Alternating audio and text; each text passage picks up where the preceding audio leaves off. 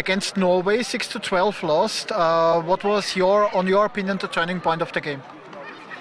I think that uh, we need to control the ball a little bit better. I think that um, our discipline in the first half let us down. Um, the heart was definitely there, um, but sometimes your passion needs to combine with your discipline in the game.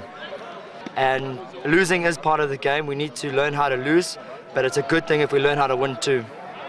Amir, 9 zu 12 gegen starke Norweger verloren. Was waren deiner Meinung nach die Schlüsselmomente des Spiels?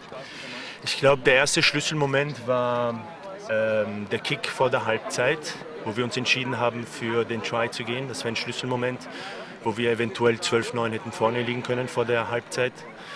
Ähm, und dann haben wir sicherlich in den letzten zwei, drei Minuten, anstatt weit zu spielen, wieder eng gespielt. Aufgrund von, äh, von zu viel Hitze wahrscheinlich im Kopf und wir haben ein bisschen die Übersicht verloren. Aber grundsätzlich haben wir gekämpft, 80 Minuten lang. Die Norweger waren eine sehr starke Truppe, die den Ball gut konserviert haben. Es hätte heute, glaube ich, einfach nicht sein sollen, aber man muss immer in einem Spiel das Beste geben und man sagt, der Schlagobers auf dem Kuchen oder die Kirsche ist der Gewinn und das ist immer ein zusätzlicher Bonus. Aber alles geben ist immer das Wichtigste im Rugby. Du hast gesprochen davon, dass ihr im Kopf zu heiß wart. Ist das ein Mitgrund, dass ihr eine sehr, sehr junge Mannschaft seid und euch vielleicht in diesen engen Momenten noch die Erfahrung fehlt?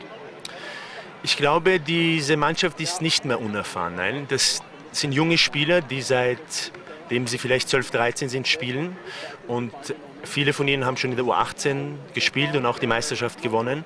Ich glaube, dass es einfach äh, heute ein bisschen an Glück gefehlt hat. Das ist alles.